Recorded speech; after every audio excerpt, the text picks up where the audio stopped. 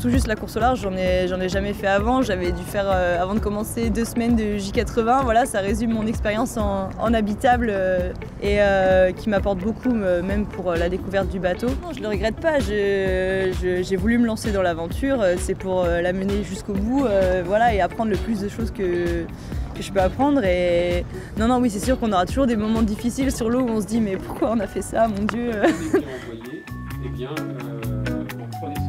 Bon, je me suis sans doute moins entraîné que, que d'autres coureurs parce que je suis amateur, je travaille à côté.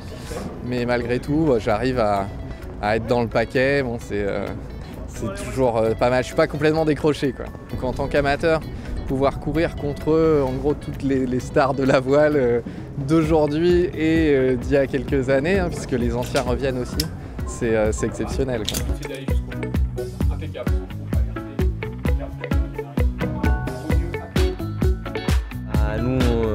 Les étrangers, tu vois, euh, on arrive à cette course-là, toujours un peu comme ça, on est toujours un peu.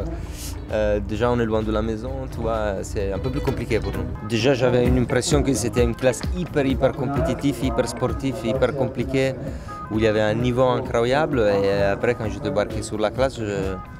je euh, m'étais pas trompé, c'est impressionnant. Pour moi, c'est un moyen aussi d'apprendre.